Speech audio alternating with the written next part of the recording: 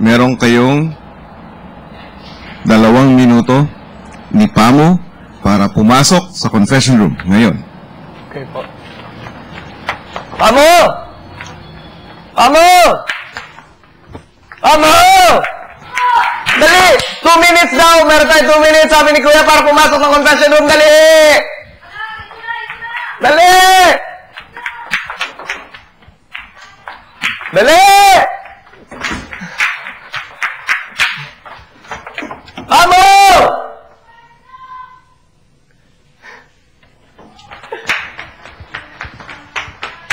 Pamo!